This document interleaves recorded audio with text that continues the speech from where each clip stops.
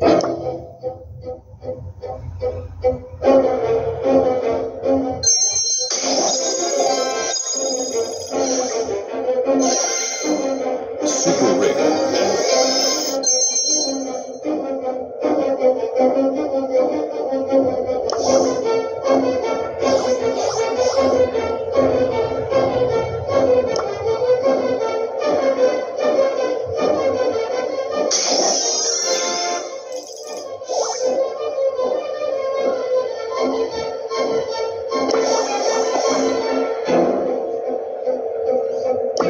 So many songs to sing, so much joy to bring.